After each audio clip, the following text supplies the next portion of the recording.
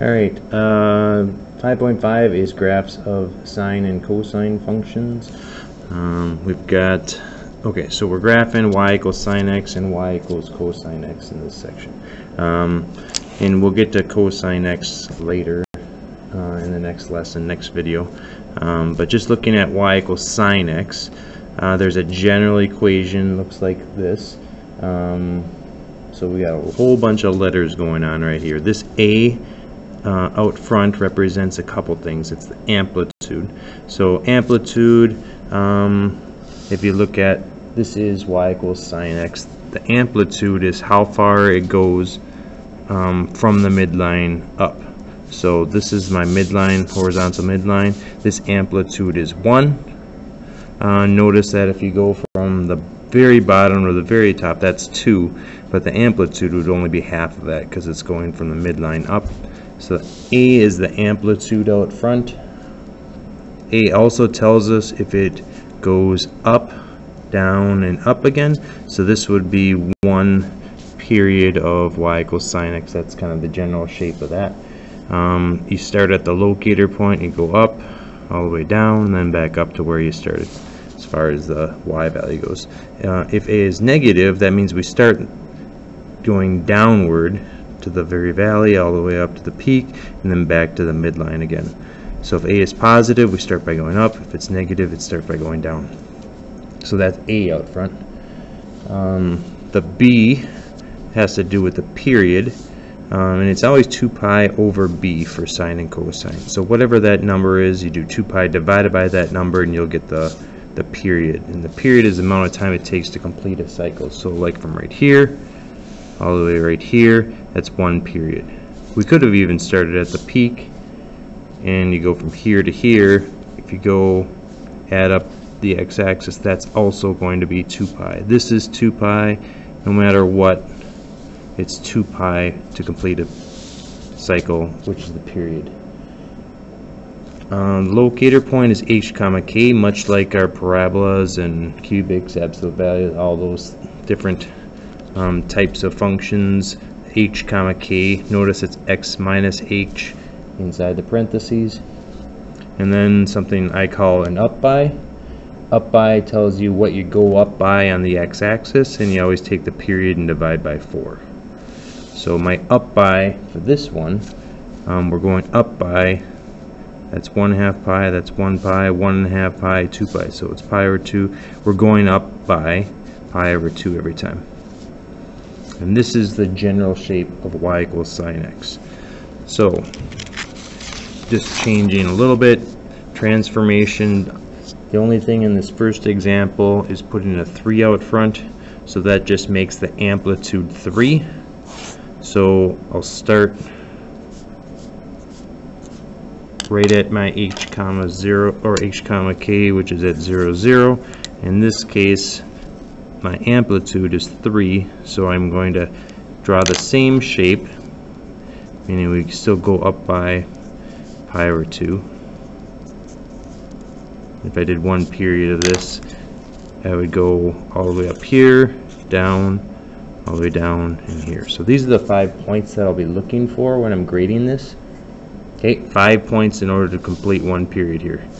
So we connect them and that's what it looks like. It's going to go on forever to the right and forever to the left. That's why I call it, it's called a periodic function. It just keeps on going and going and going um, goes on forever. Okay so this has an amplitude of 3 and that's how it's different from y equals sine x. Y equals sine x just goes up to 1 this one goes up to 3 okay if there's a negative out front negative 2 sine x, that's just going to, it still has an amplitude of 2, but if I was looking at it and writing out what the amplitude is, I would say 2, but I'd put a negative out front just to remind me that it is going to start by going down. The amplitude is still 2, but it's a negative out front. So I'm still going up by the same amount, and things will change here in the next problem or two. Um, as far as that goes, but I'm just taking one step at a time. So my locator is still at 0, 0. Amplitude is 2, but we're going down this time. Here are my five points that I'd be looking for. So if your curve is like, I mean, as long as you have those five points, um, you'll get all credit. Those are the points that I'm looking for. Try to make it a little smoother than that. Alright, so a little more complicated of an example. I'm actually going to write out the four things that we need. Uh, remember amplitude, period, locator, and up by here. So my amplitude, um, period, locator, and up by. So my amplitude is 2. My period, uh, remember it's 2 pi over b. b is right here. There is no number there. So our b in this example is just 1. So it's 2 pi over 1. So our period is still 2 pi, which is the same as the previous three examples, 2 pi for the period. My locator, remember it's negative h, and so it's negative pi comma 1 would be my locator and my period would be or I'm sorry my up by would be the period divided by 4 or pi over 2 same up by um, as the previous examples because the period is the same. Alright so my locator is negative pi 0 or negative pi 1 so I'm going to call, call that negative pi. I'm going to go up by pi over 2 so if I add pi over 2 to negative pi that's negative pi over 2 plus another pi over 2 is 0 plus another pi over 2 is pi over 2 plus another and so on. So a lot of times I'll ask you to complete two periods. Um, there's one period I'd have to go a little further 5 pi over 2 and then so if you think of it as 1 half 1 1 and a half, 2 2 and a half, 3 three and a half would be 7 pi over 2 and so on. Let's see that's enough for two periods my amplitude is 2 but I'm going to start at 1 so I have to go up 2 beyond there and down 2 alright So we're set to draw our curve. We'll start with our locator point, a negative pi comma 1. So that's my locator.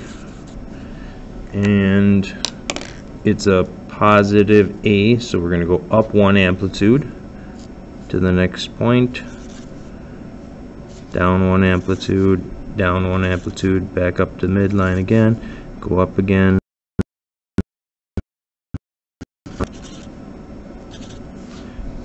Alright, so we have all of our points and we can draw our curve. There we have it. Okay, so with these, write those down on a test or a quiz. I'll be looking for this information. You could get quite a bit of the points uh, toward the standard of this just by listing those out. Um, depending on the difficulty of what our up by is or what our period is this might be like labeling the axes might be part of the toughest toughest part of the problem because we're going to end up with fractions you're going to go up by pi over 8 things like that. Alright well I will continue. Normally I would ask for questions but I recorded my lesson yesterday and it didn't work to upload it so I'm going solo on this so not a whole lot of dialogue with my students today. Uh, last example for this video um, remember we've got amplitude we got period we got locator and up by normally I would take some time here to let you try to find these four things um, and if you're watching this video maybe you want to try just pause it, see if you can come up with these. Um, but I'm going to continue. So the amplitude is 3, but I'm going to put a negative as a reminder that we're going to go down first. uh, the period, this actually has a b other than 1. So our period is 2 pi over b, which is 2, so our period in this problem is going to be pi. My locator is pi over 2 comma 0. And my up by is the period divided by 4. So we're going to go up by pi over 4 in this problem.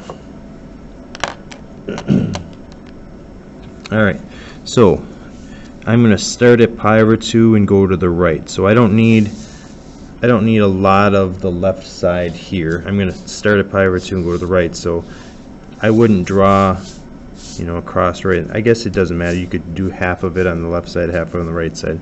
So you'll figure th that type of thing out as you do more of these. Um, so I'm going to start at pi over 2. We're going up by pi over 4, so if that's pi over 2, maybe I'll go backwards one. So backwards one period. So if I start at pi over 2, go backwards pi over 4, that's pi over 4, at 0. Backwards another, it's negative pi over 4. Backwards another, it's negative pi over 2. So that's enough for the four quadrants going backwards. Going forward with it, remember this is one fourth, two fourths, three fourths, or three pi over four, four fourths, which is pi, five fourths, five pi over four, six fourths, which is three pi over two, seven fourths, so seven pi over four. Let's see, one, two, we did more than enough there. More than enough.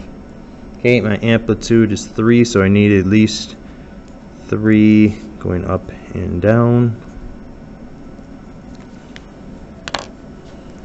Alright, so time to draw our sketch.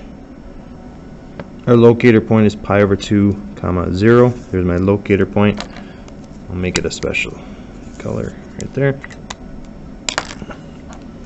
Um, okay, so we're going down, and we're going one, down one amplitude, so we're going to go down 3. That'll put us right here, up 3, up, down, down, and I just keep going backwards.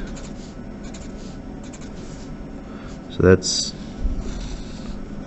one, two, and a little extra. Two periods, and plus a little extra. So that would be the graph sketch of that function right there.